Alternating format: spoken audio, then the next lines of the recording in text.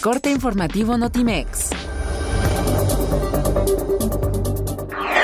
El presidente Enrique Peña Nieto designó a Jaime Francisco Hernández Martínez como director general de la Comisión Federal de Electricidad. Liconza suministra cerca de mil millones de litros de leche al año en beneficio de más de 6.5 millones de personas, principalmente niños, mujeres embarazadas en periodo de lactancia y adultos mayores.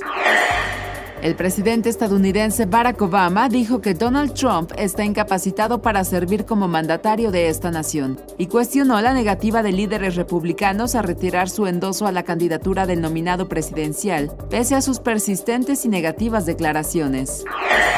Investigadores de la Universidad Nacional Autónoma de México en Baja California impulsaron la divulgación científica entre los niños indígenas de la entidad con libros gracias al programa Ciencia Pumita.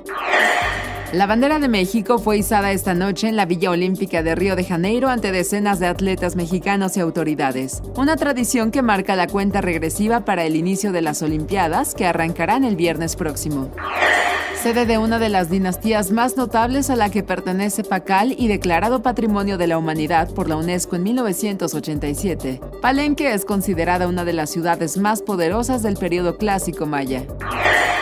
La primera visita oficial que hace 53 años realizó a Tasco la actriz hollywoodense Marilyn Monroe fue el pretexto para que regresara a la ciudad dos veces más en Top Secret, donde adquirió muebles, joyería de plata, artesanías, hizo amigos y fue su lugar para relajarse. Notimex, Comunicación Global.